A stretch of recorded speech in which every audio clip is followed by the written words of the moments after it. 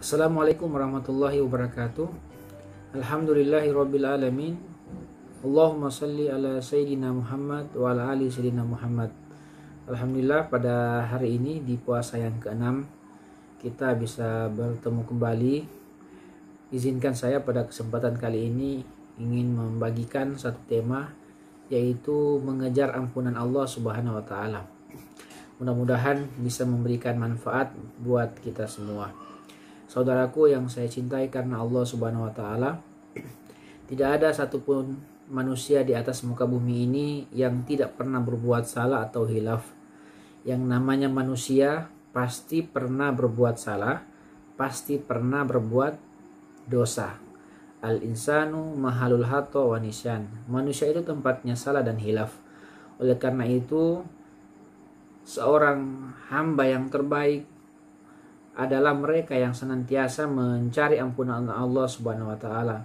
Bukanlah manusia yang terbaik adalah manusia yang tidak memiliki kesalahan atau tidak pernah berbuat dosa. Akan tetapi manusia yang terbaik adalah mereka yang berbuat salah, mereka yang berbuat dosa lantas kemudian memohon ampun kepada Allah Subhanahu wa taala. Itulah manusia yang terbaik. Oleh karena itu, pada kesempatan di bulan suci Ramadan ini mari manfaatkan untuk mengejar ampunan Allah Subhanahu wa taala. Bukan cuma sekedar mencari tapi mengejar.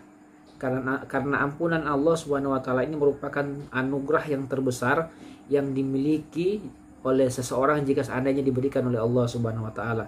Jika seseorang sudah mendapatkan ampunan Allah Subhanahu wa taala, maka itu merupakan karunia yang terbesar yang pernah dia miliki selama dia hidup. Oleh karena itu kejarlah ampunan Allah Subhanahu wa taala. Bagaimana kemudian kita bisa mengejar ampunan Allah Subhanahu wa taala agar kemudian ketika kita keluar pada keluar dari bulan suci Ramadan masuk pada satu Syawal nanti kita seperti bayi yang baru lahir.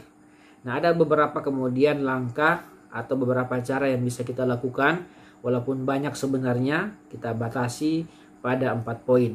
Yang pertama adalah ketika kita punya salah, ketika kita punya dosa pada Allah Subhanahu wa taala dan itu pasti, maka bertaubatlah kepada Allah dengan taubatan nasuha.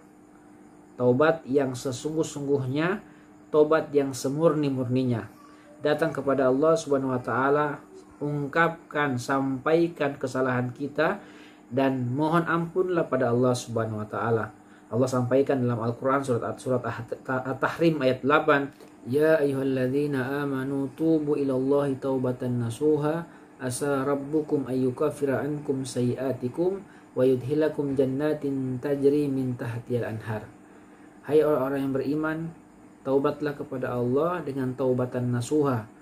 Mudah-mudahan Tuhan kamu menutupi aib-aibmu dan memasukkan kamu ke dalam surga yang mengalir di bawahnya sungai-sungai. Saudaraku yang saya cintai karena Allah Subhanahu wa taala, oleh karena itu kemudian salah satu salah satu amalan yang harus kita lakukan pada bulan suci Ramadan ini adalah melaksanakan taubatan nasuha.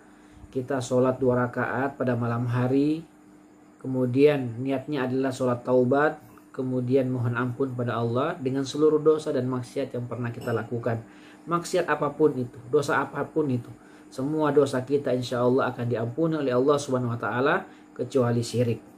Tetapi dosa-dosa yang lain insya Allah kita serahkan semua keputusannya kepada Allah. Mohon ampunlah pada Allah, insya Allah akan diampuni oleh Allah Subhanahu wa taala. Yang kedua, yang kedua adalah setelah kita melakukan taubatan nasuha, maka yang kedua adalah perbanyak istighfar pada Allah Subhanahu wa taala.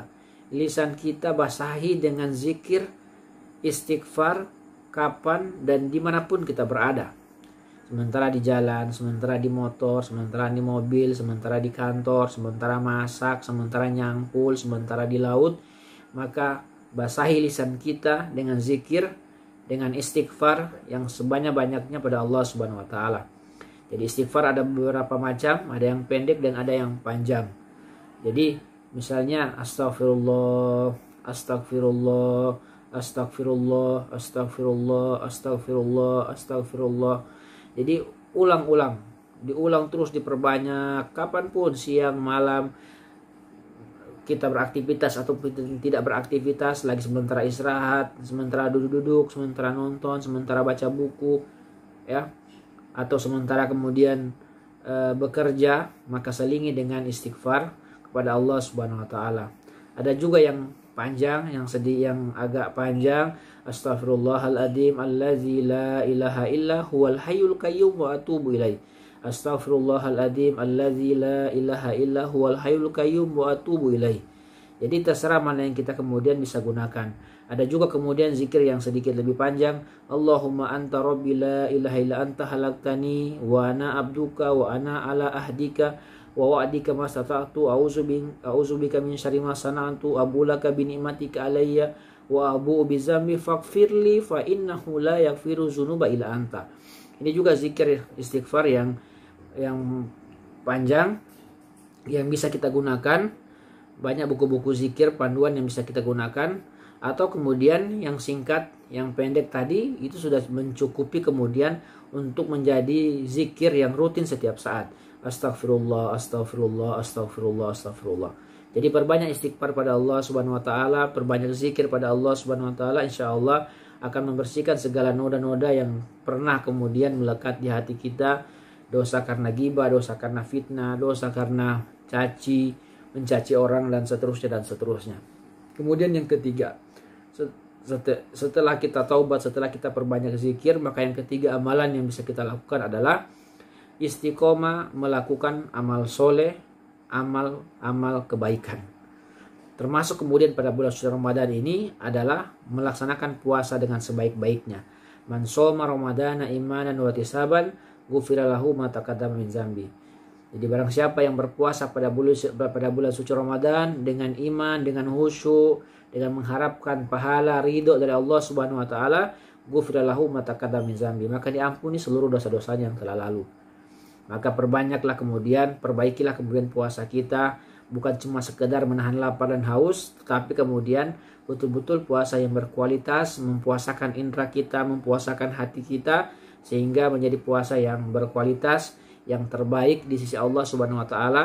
Anggap ini merupakan Ramadan yang terakhir dan puasa yang terakhir yang kita tak akan jalani sehingga betul-betul kita jaga menjadi puasa yang terbaik.